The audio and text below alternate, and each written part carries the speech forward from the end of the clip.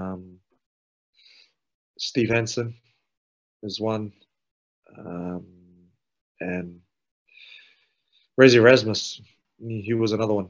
You know, he tested me at times. He tested me at times though, but for the better. That, that that's for sure. And um, he kind of made you, you know, want to like because he had that sort of army like background sort of mentality though.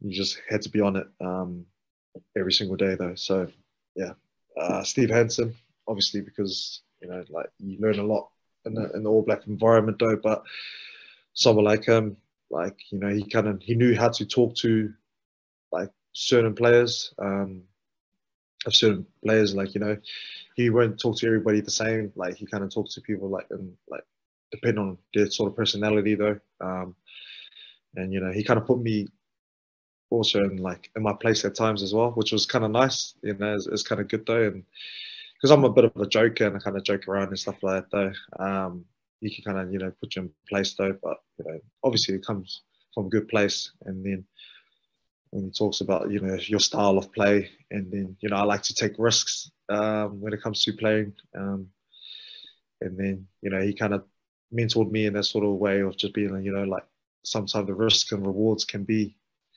um, you know it depends on you know if, if, if you can limit your risks and you know the rewards will be higher then you'd rather take that instead of taking like high risks than like you know what I mean like even though the rewards could be you know just as yeah. just as juicy though but you know sometimes you know having to have that sort of balance in your game of just you know doing the simple things well and then the opportunities of being able to show your flair and having to you know like bring your X factor capabilities in uh, will come into play though but being able to just keep it simple first and do the basics well and then uh, once you get the feel of the game and starts going well then then you can start throwing you know that that sort of offload that you know that you've been trying to you've been trying to do in trainings though. So yeah.